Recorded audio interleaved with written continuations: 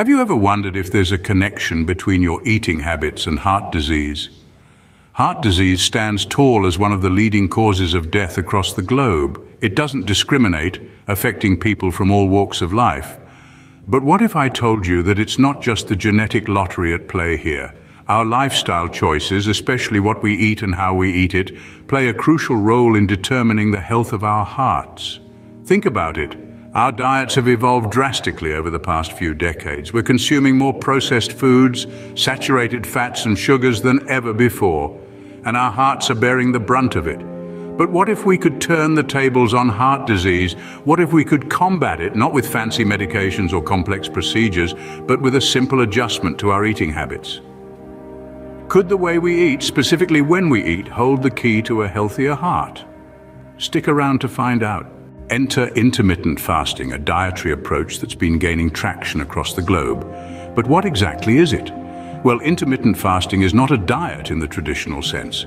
Instead, it's a pattern of eating. It's a way of scheduling your meals so that you get the most out of them.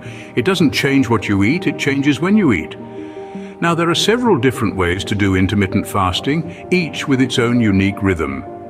One of the most popular methods is the 16 8 method, also known as the Lean Gains Protocol. This involves skipping breakfast and restricting your daily eating period to 8 hours, say from 1 in the afternoon to 9 at night. Then you fast for the remaining 16 hours of the day.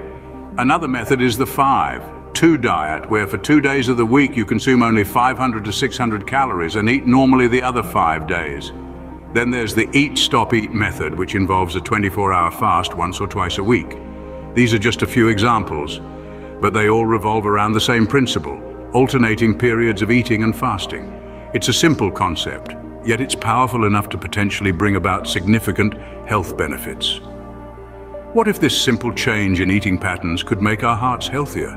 To understand how intermittent fasting could impact heart health, let's delve into the science behind it.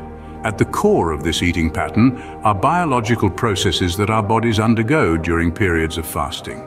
These processes, namely autophagy, insulin sensitivity and the metabolic switch to burning fat for energy, play a crucial role in understanding the potential benefits of intermittent fasting for heart health.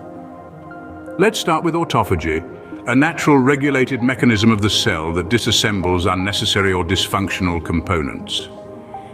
Think of it as the body's internal recycling program.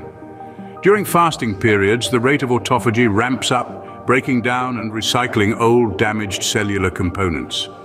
This process is believed to help reduce inflammation and oxidative stress, two key contributors to heart disease.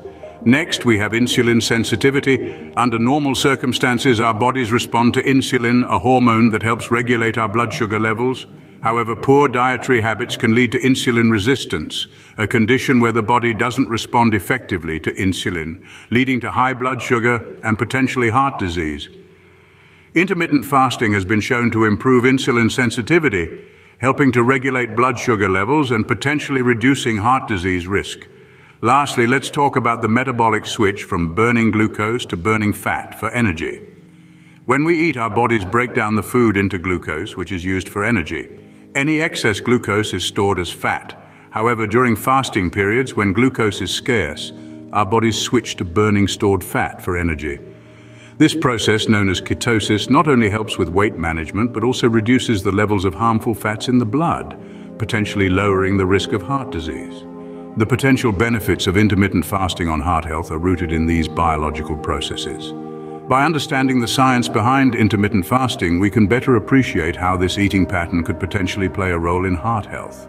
So, how exactly does intermittent fasting impact heart disease? Well, let's delve into some of the scientific studies that have been conducted to shed light on this fascinating connection. Researchers have been studying the effects of intermittent fasting on cardiovascular health, and the findings are quite intriguing. One of the most consistent findings across multiple studies is the impact on blood pressure. Intermittent fasting has been found to lower blood pressure, with some studies indicating a significant reduction in systolic blood pressure. This is a crucial aspect of heart health, as high blood pressure is a leading risk factor for heart disease. Now let's talk about cholesterol. This waxy substance found in your blood can be a friend or foe, While your body needs some cholesterol to function properly, too much of it can clog your arteries and lead to heart disease. Interestingly, studies have found that intermittent fasting can help reduce levels of low-density lipoprotein, often referred to as the bad cholesterol, while increasing high-density lipoprotein, the good cholesterol. This balance is essential for maintaining a healthy heart, but that's not all. Intermittent fasting also appears to have favorable effects on insulin resistance, Insulin is a hormone that allows your body to use sugar from carbohydrates for energy or to store glucose for future use. When the body becomes resistant to insulin, blood sugar levels can rise, leading to an increased risk of heart disease. By improving insulin sensitivity, intermittent fasting may help to reduce this risk. So if we piece together the puzzle, we can see a clear connection between intermittent fasting and improved heart health. Lower blood pressure, reduced cholesterol levels and improved insulin resistance all contribute to a healthier heart and potentially lower the risk of heart disease. But remember, while the evidence is promising, it's important to note that more research is needed to fully understand the nuances of this relationship. As with any diet or lifestyle change, it's always best to consult with a healthcare professional before making any drastic changes. The connection between intermittent fasting and heart health is compelling, but more research is needed. Before you jump into intermittent fasting, it's essential to consider if it's the right fit for you. Intermittent fasting, like any dietary regimen, isn't a one-size-fits-all solution. It can be a beneficial practice for many, but it's not suitable for everyone. Certain individuals should exercise caution or avoid it altogether. Those with medical conditions, especially related to blood sugar regulation, like diabetes, may face risks with intermittent fasting. The fasting periods could potentially lead to dangerously low blood sugar levels.